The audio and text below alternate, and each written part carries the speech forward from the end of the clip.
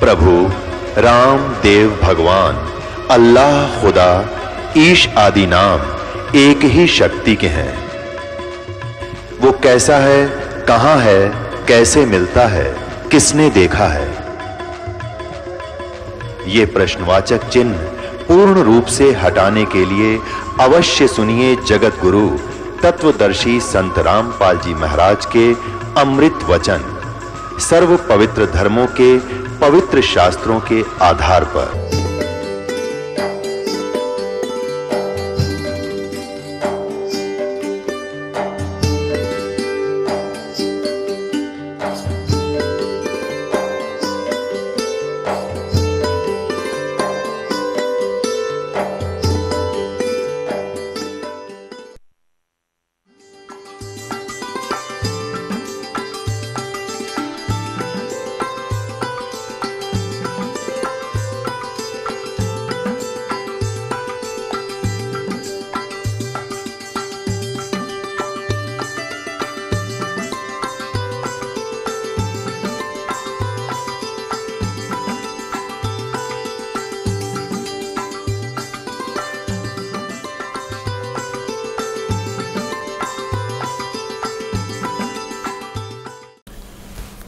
बोलो सतगुरुदेव की जय। बंदी छोड़ कबीर परमेश्वर जी की जय।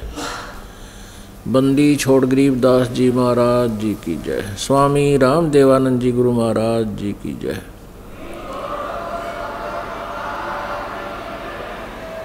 सर्व संतों की जय सर्व भक्तों की जय।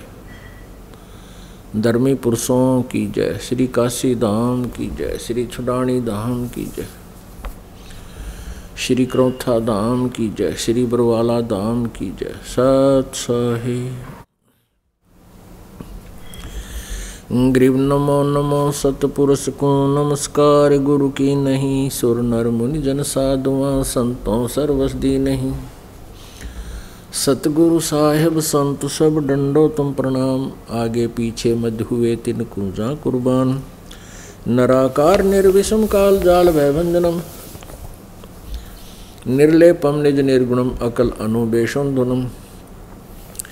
सोहम सुरति समापतम सकल समान नानिरतलय उज्ज्वल हीरम्बर हरदमम बेपरवा अथा है वार पार नहीं मध्यतम। ग्रीव जो सुमर सिद्ध होई, गणनायक गलताना करो अनुग्रह सोई, पारस पद परवाना। आदि गणेश मनाऊं, गणनायक देवन देवा, चरण कमल लो लाऊं आदंत करूँ सेवा। परम शक्ति संगीतम, सिद्धिदाता सोई। अवगत गुण अतीतम, सतपुरुष निर्मोही, जगदम्बा जगदीशम। मंगल रूप मुरारी, तन मन अर्पों शीसम भक्ति मुक्ति भंडारी। सुर नर मुनि जन ध्यावे, ब्रह्मा, विष्णु, महेशा। शेष शेष मुख गावे, पूज्य आदि गणेशा। इंद्र कुबेर सरीखा, वरुण धर्म राय ध्यावे। समर्थ जीवन जी का मन इच्छा फल पावे। तैतीस कोटि आधारा ध्यावे, शेष अठासी। उतरे बहुजल पारा कट है यम की फांसी। तैतीस कोटि अधारा ध्यावे से अठासी। उतरे भवजल पारा, कट है यम की फांसी। कर जोरूं, विनती करूँ दरूं चरण पर शीश। गुरु जी राम देवानंद जी महाराज ने दियो नाम बख्शीश। कोटि कोटि सिजदा करूँ कोटि कोटि प्रणाम। चरण कमल में राखियो मैं बंदी जाम गुलाम। पुता हूँ गुरु देव का रामपाल दास का नाम। गले प्रेम की जेवड़ी, जाखे चोभा जाऊँ। तो तो करो तो बावड़ू। दूर दूर करो तो जाऊँ। जो राखो तो ही रहूँ। जो दे वो सो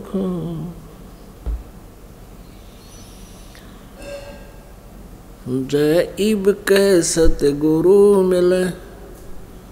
सब दुख आँखों रोए। चरणों ऊपर शीश धरूं, कहूँ जो कहनी हो कबीर साई मिल लेंगे, पूछेंगे कुशला तो आद अंत की सब कहूँ, अपने दिल की बातें। गुरु जी तुम ना भूलियो। चाहे लाख लोग मिल जाए। हमसे तुमको बहुत हैं, तुम जैसे हमको नहीं। तुमरे विसारे क्या बने, मैं किसकी शरण में जाऊँ? शिव ब्रंच मुनि नारदा, तिनके हृदय न समा अब गुण किए तो बहुत किए अब गुण किए तो बहुत किए करतन मानी हारे भावे बंदा बख्श दियो, भावे गर्दन उतार। अब गुण मेरे बाप जी, बख्शो गरीब नवाज़। जो मैं पूत कपूत हूँ बोर पिता को लाज? मैं अपराधी जन्म का, नख सिख बरे विकार। तुम दाता दुख भंजना, मेरी करो संवार।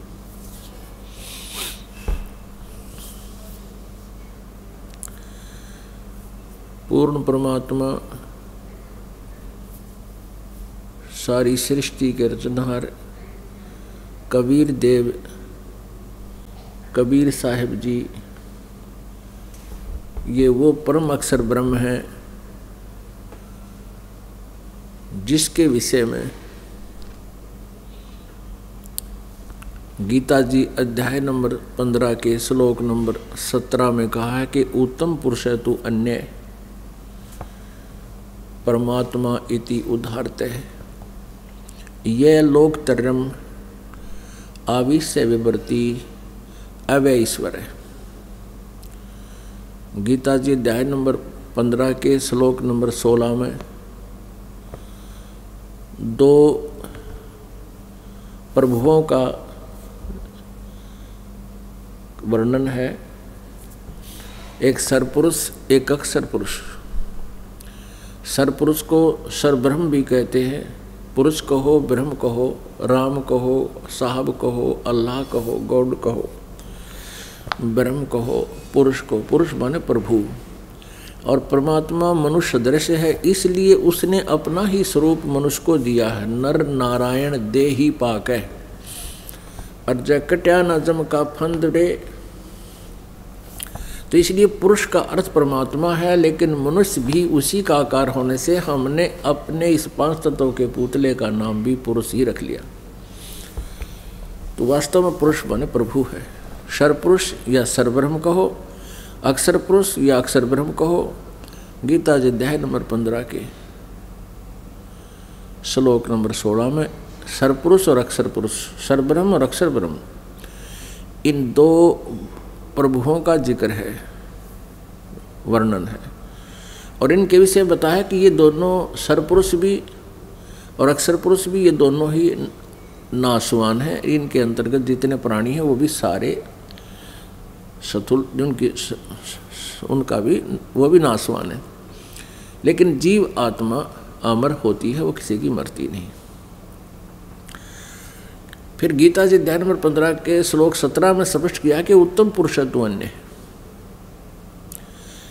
ऊपरले जो सरपुरुष और अक्षर पुरुष के से अतिरिक्त अन्य कोई और है, उत्तम पुरुष, यानी पुरुषोत्तम, श्रेष्ठ प्रभु, परम ईश्वर परमेश्वर परम ईश्वर, परम कहो, उत्तम कहो, श्रेष्ठ तो परम प्रभु, परम ईश्वर, परम परमेश्वर, परम ईश्वर, परमेश्वर, ये तो कोई और है। और वही सबका धारण पोषण करता है, वो वास्तव में अविनाशी परमात्मा है। तो वो परमात्मा कबीर देव है जो काशी में जुलाहे की भूमिका करके और 120 वर्ष तक यहाँ मनुष्य सदृश एक जनसाधारण की भूमिका करके हमारे लिए एक उदाहरण छोड़कर चले गए कि तुमने परमात्मा यदि पाना है और मेरे सचखंड में, सतलोक में आना है तो मेरे जैसे ही तुमने क्रियाएँ करो, अपना दैनिक कर्म भी करो, कर्तव्य जो कर्म है, मनुष्य का जो कर्तव्य कर्म कौन कौन से हैं? एक तो रोजी रोटी वाला कर्तव्य कर्म बच्चों की परवरिश, उनका पालन पोषण कर्तव्य कर्म और साथ में भक्ति भी कर्तव्य कर्म है। वो भी करनी चाहिए उस परमेश्वर ने आकर ही हम सभी को यथार्थ ज्ञान दिया है, क्योंकि यहाँ का जो स्वामी है, जो सरपुरुष गीता जी अध्याय नंबर पंद्रह के श्लोक नंबर सोलह में, जिन दो पुरुषों के बारे में जानकारी दी है, प्रभुओं के बारे में, ये सरपुरुष जो है, सरपुरुष जिसको हम छर पुरुष बोल देते हैं सरपुरुष तो ये सरपुरुष जो है, ये ब्रह्म है, ये ज्योति निरंजन है, ये काल है, ये 21 ब्रह्मांड का प्रभु है, पुरुष है, स्वामी है। और हम उन 21 ब्रह्मांडों में से एक ब्रह्मांड में हम यहाँ विद्यमान हैं। तो इसने 21 ब्रह्मांड में हम सभी को रोका हुआ है। हमें अपने जाल में फंसा रखा है। इसने सचखंड में सतलोक में एक भयंकर गलती करी थी। उस गलती का परिणाम इसको भोगना पड़ रहा है कि ये एक लाख मानव श्रीधारी प्राणियों का नित आहार करता है और 25 प्रतिशत एक्स्ट्रा ये प्रतिदिन उत्पत्ति करता है। इसको ऐसी एक शराब लग गया, साप लग गया। उसके लिए इसने हमें अपने खाने के लिए यहाँ रोक रखा है। और हम इसको ही सुप्रीम पावर मानते रहे ब्रह्म को, जिसका ओम नाम है, ये काल है।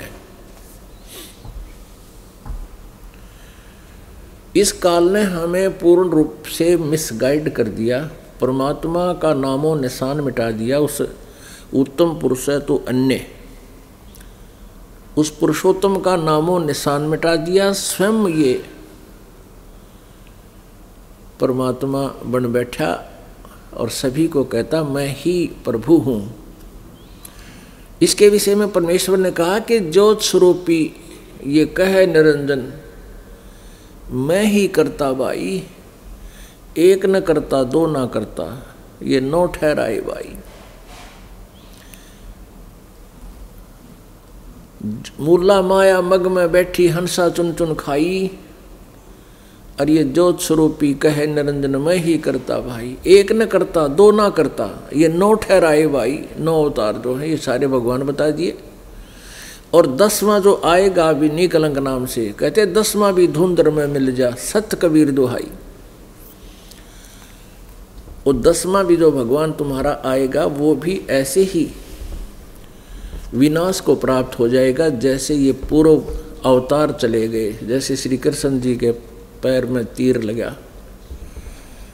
विषाक्त तीर से उनकी मृत्यु हुई। और ना जाने कितने पाप कर्म इकट्ठे कर ले गए। ऐसे श्री रामचंद्र जी ने रावण पर चढ़ाई की, करोड़ों आदमी मरवा दिए।